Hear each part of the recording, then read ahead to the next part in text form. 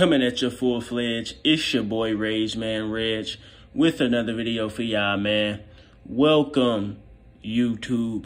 So, in the new look Phoenix Suns is 116 107 loss last night against the Los Angeles Clippers. Uh, point guard Chris Paul uh, achieved a great milestone that I wanted to give him credit for in this video. In his, in Paul's is, uh, in this game, Chris Paul had five points. Okay. Yeah, while you say five points, you can say, oh, he didn't play well. But at the same time, he had Josh Okogie, who just got traded, I think, from, I think he was on the Timberwolves. Uh, he shot six for six for 12 from three. Booker uh, had 35 points. DeAndre Ayton had 18. And, uh, I mean, not, not 35. He had 19. I'm tripping. And, uh, and, uh, DeAndre Ayton again had 18 points. But back to Chris Paul. Chris Paul had five points, uh, 11, 11 dimes, dished out 11 dimes. And with his four steals that he had, uh, Paul has just surpassed, uh, who some believe the consensus greatest of all time to be Michael Jordan in all-time steals with 2,515. Now, uh, this is just a testament to how great of a defender Chris Paul is at the position of a point guard.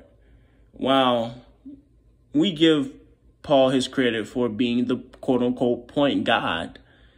His defensive prowess isn't given enough credit, in my opinion. I mean, we we know he has led the league in steals multiple times, but nobody considers him an all-time great defensive point guard as well. Maybe because you know, in the big moments, uh, his size be, can become a hindrance to his to his uh, to his team, no matter how good his defense is. I mean, we saw it last, we saw it last postseason with uh, Luka Doncic. We've seen it previous times with, uh, let's think, let's go back with uh, Steph Curry. Steph Curry's a little bigger than him. I think Chris Paul is six feet. Steph Curry six three. And uh, Steph Curry is considered a little man in the NBA. So, uh, yeah, this just goes to show how great of a defender Chris Paul is at six feet in the NBA. Um, how many times has Chris Paul led the league in uh, steals? Chris Paul has led the league in steals uh, and a, a, crazy six times uh, back in uh, 2007 and 8, back in 2008 9, and four straight years from uh, 2011 to 2014. So, man, that goes crazy. His career high in steals per game was again back in 2009 uh, with the New Orleans Hornets.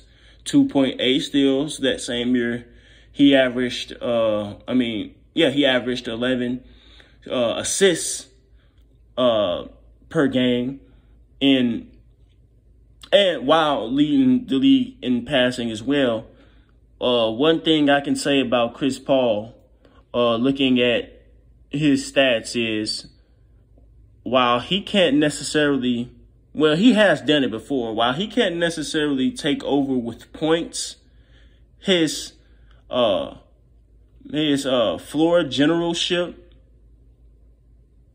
being passing is on I, I, basically to cut it short, I think Chris Paul is one of the great combination passing defensive players ever.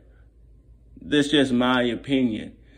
And uh, last season, even, he led the league in assists for the fifth time with 10.8 at age 36. Now, is he an all-star caliber player? Absolutely not. Remember, I said keep that same energy about Chris Paul. Uh, they did lose. The Phoenix Suns lost in this game. This uh, video is not necessarily going to be a recap of the game, but the Suns, they were fighting back the whole game. I mean, I think they got as close to three. They might have even got the lead at sometimes, but uh, you got Plumlee, Bones Hyland, Plumlee, Bones Hyland, and Eric Gordon uh, putting up 30 points off the bench, 10 rebounds, and 11 11 from the free throw line. Uh, and, and Kawhi Leonard, after going scoreless in the first half, just going crazy in the second. I mean, that's going to happen. And plus, the Suns didn't even have KD. So, again, this is just a congratulations to Chris Paul, uh, one of the great defensive point guards in the NBA and in the NBA's history.